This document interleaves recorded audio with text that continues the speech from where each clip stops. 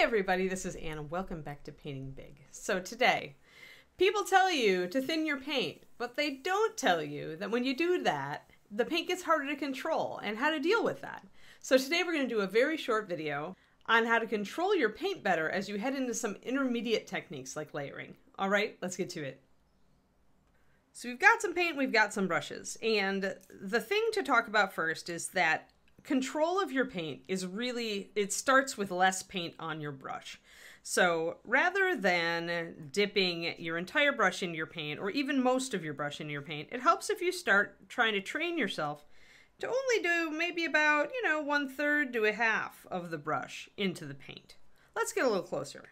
This is thin paint, so you can't see it so readily, but what you probably are noticing is that the paint wicks up the brush. Like I actually only touched like maybe a third of the brush into there, but you see that traveling up the brush right there. And that is the thing about thinned paint. As you add water, you get more capillary action. And so if you dip a lot of your brush, like if you were to start dipping your brush that far in, then in no time it would be up here and the paint would be being pulled into your ferrule. And the ferrule is the metal part right here. And when that happens, the paint can dry in there, and essentially that's what makes your brush kind of poof uh, it, where it doesn't hold together anymore. It's dried paint inside of the ferrule. So that's another reason to not overload your brush. But paint control is the main one, in my opinion. Now, right along with loading your brush comes unloading your brush. So never just dip your brush in the paint and then apply it to your model. You won't be able to like, you'll get puddling, you get these big dashes, it doesn't look good at all, right? Whereas if you dip your brush into the paint and then you unload it, just a couple times, just a couple dabs on the side of your palette, or maybe if you've got a wet palette, maybe you've got an extra palette you can dab it off on. Some people use a paper towel, some people use a piece of cardstock, whatever, whatever you unload your brush on. If you even dab it off a couple times, then when you go to apply it, suddenly you can do little like very uniform lines. You don't get all this puddling. The paint isn't running all over the place you can really control it. You can even do tiny dots. So even a tiny bit of unloading helps a lot. And this paint, just to give you an idea, this is thinned two to one. So that's two drops of paint and uh, then it's thinned both one drop one drop of water by ratio. I, I scaled it up a little for a bigger paint puddle, but you get the idea. So in the case of two to one paint, that's enough. Like a couple dabs on the side of the palette, it's great. But some techniques, like layering, they require thinner paints.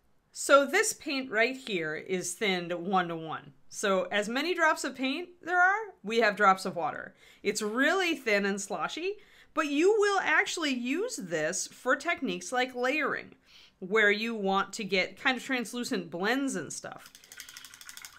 So when you deal with paint that's this thin, you even have to unload it more because the water is going to wick into there we dipped just a little bit of our brush in there. You can see how little it is.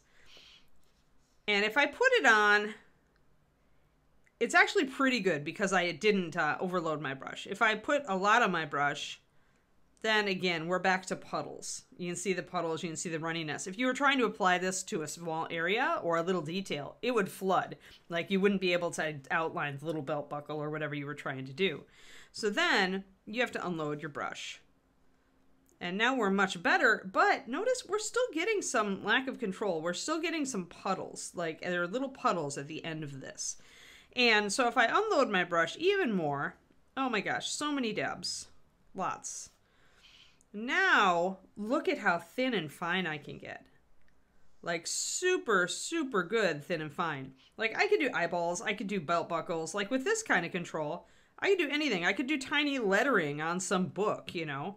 Um, you know, could do tiny little little scribbles going across a book's page, um, that kind of thing. You know, all of this is possible. And the thinner your paint gets, the finer you can generally go because your paint is going to stay wet on the brush for longer because it's got more water in it. Makes sense, right? If there's more water in the paint, guess what? It doesn't dry out on the brush as fast. But it does tend to get runnier, and so you do need to unload it a lot more. So if you take one thing away from this video, it's that when your paint gets thinner, you're gonna have to unload your brush more. Now, sometimes when you're trying to use just a, what I call a standard size brush like this one, you can see kind of in scale how it is. You find maybe that you still have problems. Like your paint is thin and you're just having real trouble controlling it. And it's not your brush control, you're pretty sure it's the paint. So in that case, the fix is to reach for a smaller brush. You don't reach for a smaller brush with thicker paint because you need the water in the paint to keep it wet on a small brush. If you try to use thick paint with a small brush, it's gonna dry really quick. So let's use this brush that's about half the size of our first brush. Our first brush, by the way, is a Da Vinci Maestro size 1, series 10, which is the standard round. This is the same series, but it's a size triple aught. So about half the size overall. When we're loading up this brush, it's so tiny, I do put about half of it in there, but I don't have to unload it nearly as much to do these super fine lines. Now, one thing you may notice too is as I move to the smaller brush, look at how much more translucent that is. Hmm, so the fact that I have less paint on my brush may also enable me to highlight better without all these really bold strokes.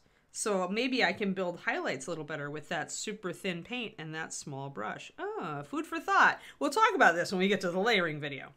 So at this point, that's kind of what I want you to take away from this, is that as you thin the paint more, switch to smaller brush or use less paint on your brush, unload it more before you put the brush on the miniature, and you're gonna have so much better control and hopefully save yourself some frustration, which I am all about. I want you to enjoy your hobby. I want to save you as much frustration as I possibly can.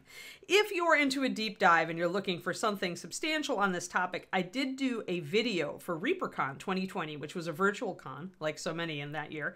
Um, it's called Thinning MSP Paint, and I'll try to hunt it down and put a link down in the comments below when I publish this video. Thinning MSP Paint is a 90 minute class for ReaperCon 2020. So it's an it's 90 minutes, it's an hour and a half of me explaining various paint consistencies using Reaper Master Series paint. So if you're interested in Master Series and you kind of want to take a look at it, maybe learn how to use it because its consistency is a little different than other paints on the market, you can look at that video. Again, I'll try to put the link below in my comments, or you can just go to Reaper's YouTube, which is Reaper Miniatures on YouTube, and search for thinning MSP paint, and you should find it. All right, folks, that's about it for today. I want to remind y'all that I do stream for Reaper on their Twitch channel, twitch.tv slash Reaper Miniatures, every weekday morning at 11.30 USA Central Time. So maybe I'll hope to see you over there if you have time during the day on those days. Otherwise, I do also have a Patreon. It's patreon.com slash paintingbig. I love it. It's a really good value right now because I've been doing it for over three years. So there's a ton, a ton of content on all of the tier levels. And if you sign up for a higher price tier, you do still get all the content of the lower price tiers. So it gets you a lot to watch. Let's just put it that way. All right, everybody, thanks so much for tuning in, and I'll see you again next month with a layering video. This is Anne signing off.